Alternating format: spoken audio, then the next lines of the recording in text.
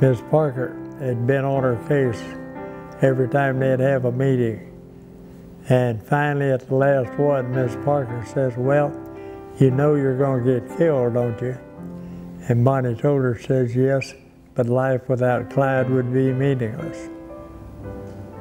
They were just a couple of normal kids that got off on the wrong foot.